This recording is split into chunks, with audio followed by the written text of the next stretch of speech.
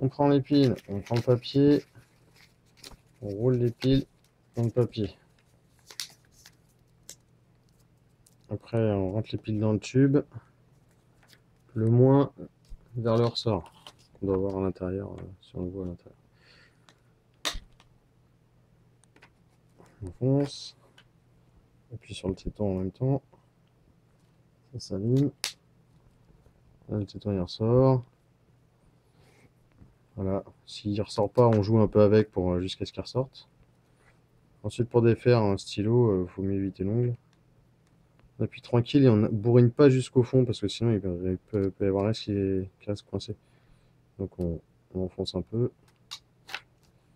Et voilà, on parle du loup et à se coincer, c'est pas trop grave. Je joue avec mon stylo et il se décoince. Voilà.